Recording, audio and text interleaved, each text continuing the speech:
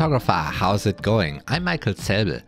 Today I would like to show you how you can make photos of a musician.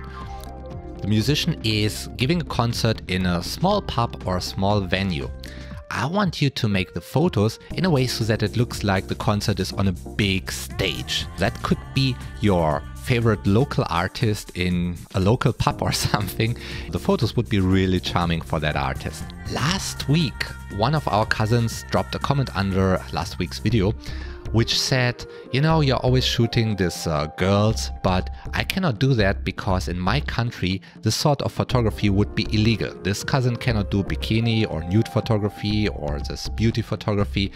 And I thought there are so many topics which are really fun to photograph.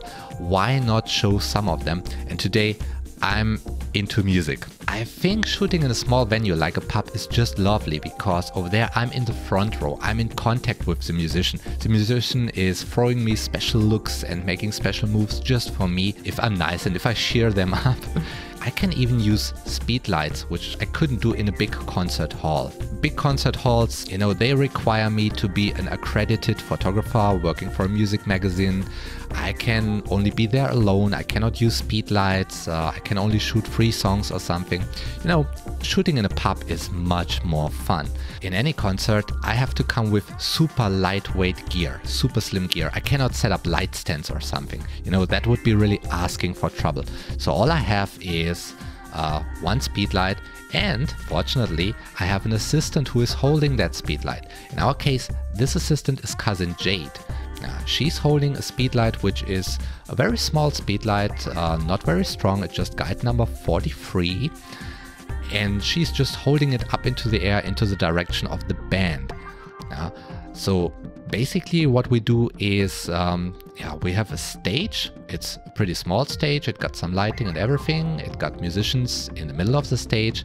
I'm shooting from one side of the stage towards the band and Cousin Jade will go to the other side. It holds a speed light, yeah, over there. Or if I change sides and I shoot from that side of the stage, then Cousin Jade will change to the other side. Uh, so there's always a big distance between camera and the uh, yeah the, the, the speed light which contributes to the to the lighting, so that the uh, lighting setup is nicely three-dimensional. Uh, the ISO is pushed quite high because on stage it's very dark and the shutter speed should be around 125ths or faster so that uh, yeah the action is, is, is, sort of frozen. And of course I'm shooting with open aperture.